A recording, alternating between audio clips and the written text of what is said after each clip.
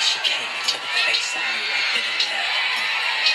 There was something different about this girl. The way she moved, her hair, her face, her lines, divinity in motion.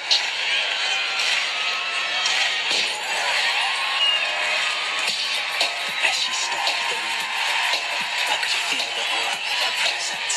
Every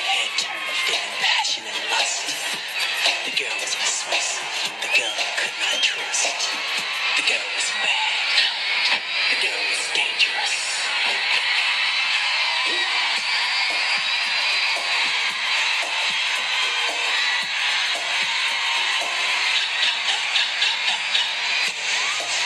She came at me in sections with the eyes of desire. A love direct into the web of sin. A touch, a kiss.